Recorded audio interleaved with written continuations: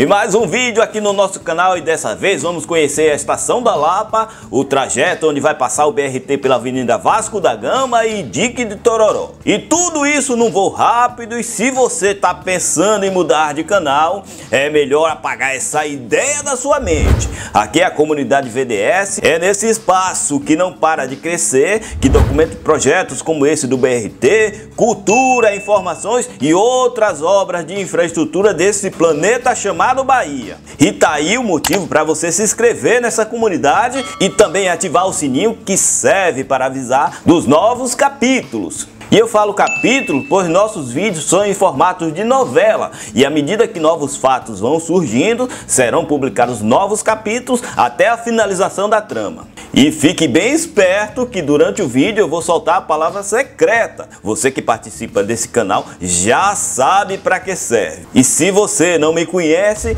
meu nome é Joa Souza, muito prazer, eu sou fotógrafo e aqui no canal costumo contar histórias através de imagens que eu faço por aí.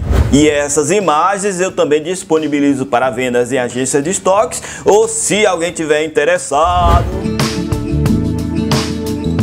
Mas o negócio é o seguinte, estamos na estação de transbordo Clériston Andrade, mas todos nós conhecemos como Estação da Lapa ou Terminal da Lapa. Esse local, que é o maior terminal rodoviário da nossa cidade, também será a última estação do BRT que parte da rodoviária. E nem me pergunte se os veículos vão entrar na parte de cima ou no subsolo, e não aperte minha mente com perguntas difíceis. O objetivo desse vídeo é documentar os locais antes do início das obras, justamente para a gente fazer o comparativo do antes e depois. Como você sabe, estou acompanhando o andamento desse projeto há muito tempo e pretendo fazer um vídeo completo quando a obra for concluída e estiver tudo em operação.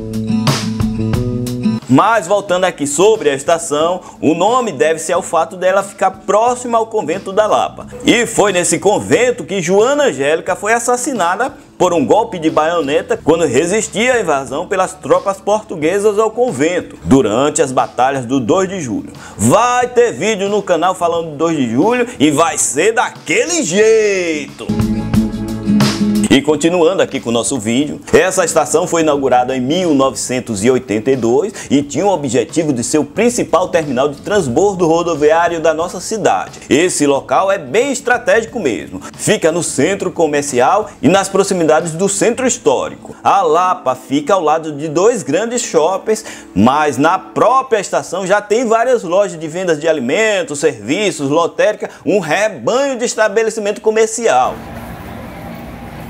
Aqui o movimento de gente é intenso, são em média 430 mil pessoas passando por dia. Esse mundaréu de gente vem de 130 linhas de ônibus, onde recebe cerca de 330 coletivos por hora, e também a estação do metrô, que contribui com a maior parte do povo que passa por aqui. E com a implantação do sistema do metrô nessa estação, muitas linhas de ônibus foram desativadas, diminuindo o fluxo de ônibus e aumentando o número de pessoas pessoas. E nem pense que a estação da Lapa sempre foi assim, limpinha, funcionando tudo direitinho. O descaso de administrações anteriores deixou o local às traças, precisando de uma enorme reforma. Em março de 2016, após 14 meses de obras, o local foi revitalizado no investimento de 20 milhões de reais, através do consórcio Nova Lapa. E é esse consórcio que tem a concessão para administrar o empreendimento por 35 anos. E a coisa tá melhor mesmo, com segurança, as escadas rolantes funcionando, limpo e sinalizado, banheiros com ar-condicionado, tudo do bom e do melhor. Manter esse local desse jeito não é moleza não, viu? Só a título de informação, mas Clériston Andrade foi prefeito de Salvador, morreu de acidente aéreo em 1982, quando viajava para fazer campanha para concorrer ao governo da Bahia. Além da estação da Lapa, várias outras homenagens ao ex-prefeito. Em Feira de Santana, ao Hospital Geral Clériston Andrade. No extremo sul, na cidade de Itagimirim, tem um estádio de futebol com o nome dele. Aqui em Salvador, na Avenida Anita Garibaldi, tem um memorial a Clériston Andrade e é obra do artista Mário Cravo. Na cidade de Santa Rita de Cássia. E também aqui em Salvador há um colégio estadual com o nome do homem. É aquele ditado: vai o homem, fica o nome. Mas o que eu quero mostrar mesmo é esse trecho da Avenida Vale do Tororó. Aqui é a boca de entrada para os ônibus que acessam o terminal da Lapa, passando por essas duas pistas com esse canteiro no meio onde estão algumas árvores. Eu imagino que ela esteja com os dias contados. Mas vamos ver como vai ser o projeto depois da conclusão. Aí, jovem, se ligue que daqui a pouco eu vou soltar a palavra secreta. E é melhor nem piscar o olho para você não perder. Enquanto isso, sapeca o like que tem mais informações para passar no vídeo. Mas não acabou o vídeo, tenho muito a documentar e vamos tocando o nosso voo. E dessa vez estamos na região do Dique do Tororó, junto à Avenida Vasco da Gama. E muitos inscritos têm me perguntado por onde vão passar os veículos do sistema BRT. E eu vou falar a verdade, eu não sei. Mas como disse, o objetivo desse vídeo é a documentação antes das obras, justamente para ter o antes e o depois. Como você sabe, o sistema BRT nesse trecho da Avenida Vasco da Gama será implantado nessa via exclusiva para ônibus que já existe. Serão feitas algumas melhorias, mas como se diz por aqui, o serviço já está meio caminho andado. E dessa forma, os impactos devem ser menores que os trechos da Avenida ACM e também da região do Lucaia, que é aquele miserê para quem passa por lá.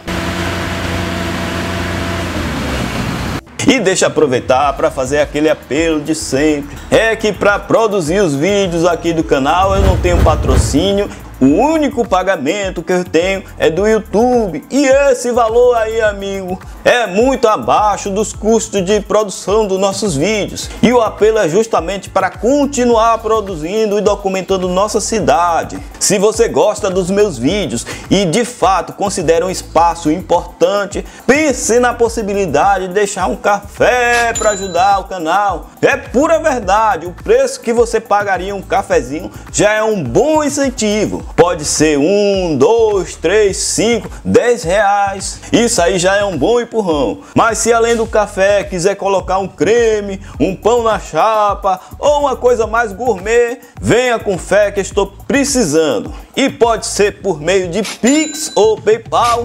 Esse e-mail aí é a chave mas também pode ser um valeu demais aqui no YouTube. Abra seu coração e também a carteira, jovem. Não deixe a minha voz se calar que eu tenho muito a documentar nesse planeta chamado Bahia.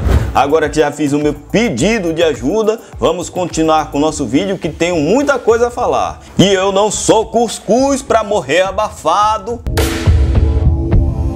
e parte do sistema BRT já está em operação e por enquanto fazendo o trajeto da rodoviária até o shopping Taigara. A operação é com ônibus convencional com ar condicionado, alguns deles são veículos 100% elétricos. Esses veículos têm capacidade para transportar até 90 passageiros. Por enquanto não há ônibus articulados. Para que o sistema BRT de transporte fosse implantado em nossa cidade, são previstas algumas melhorias no sistema viário, como a implantação de viadutos, elevado, drenagem de rios e canalização, e também a construção de estações para a operação do modal. O investimento do projeto é de 487 milhões de reais com financiamento do governo federal e a obra é administrada pela prefeitura de Salvador. Essa obra já deveria ser concluída desde outubro de 2022 e com isso tem gerado reclamações e desconforto no trânsito da cidade.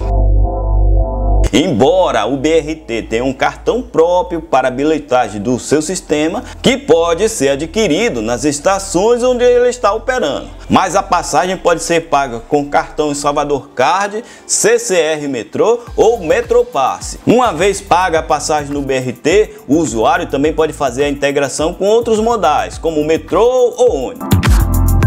Mas está feita essa documentação prévia de onde será implantadas as vias do BRT aqui na região da Lapa, Dique Vasco da Gama. Vou continuar documentando esse projeto até sua conclusão. Tá aí um motivo que faltava para você se inscrever no canal e ativar o sininho. Sem contar que esse vídeo eu não fiz nenhuma escaldação para pedir like. Foi tudo na boa. Mas sapeca mesmo que isso ajuda na divulgação do meu trabalho. Agora vou soltar a palavra secreta desse vídeo. Use a hashtag VDS na Lapa. Desse modo eu tenho certeza que você acompanha de fato o meu trabalho e deixe o seu comentário usando essa hashtag. E também falando que achou do vídeo, deixa sugestões de outros vídeos, fala o que quiser e do seu jeito, porque vai ter resposta. Eu vou ler e vou responder.